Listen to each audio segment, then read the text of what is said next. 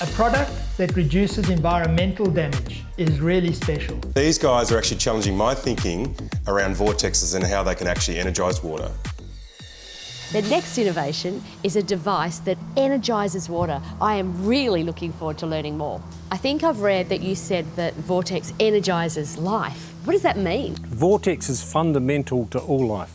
DNA helix, right, okay. waves, yep. cyclones, the spin of the Milky Way. It's all about the vortex. I'm just trying to understand how the vortex works. We have different mechanisms inside different devices. But fundamentally what they do is they accelerate the spin state of the water molecules and the minerals that are in the water. So then it goes out onto the crops? Out onto the crops or into the people or into the animals. Every biological function is enhanced when there's more energy in the water. Most gardeners understand that when it rains, the plants really pop. And that's a function of the energy in the water.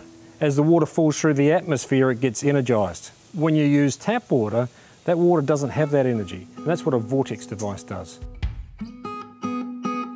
So Simon, you've installed the Vortex. Yeah, um, we're really happy with it. Punching out some good quality fruit, some good yields. Input costs are, are down a bit because we're, we're not fertilising as much and the pump's not running as much because our moisture probes in the field aren't calling for as much water as they used to.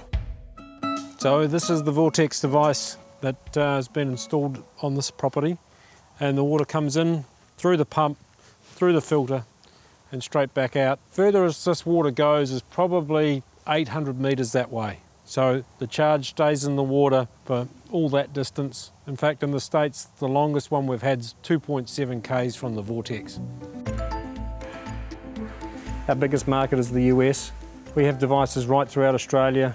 We have devices on dairy farms in New Zealand. We have devices in Egypt, hydroponic farmers in England. We're so confident in this product we have a 100% money back guarantee for one year. In five years, we haven't had one back, not one.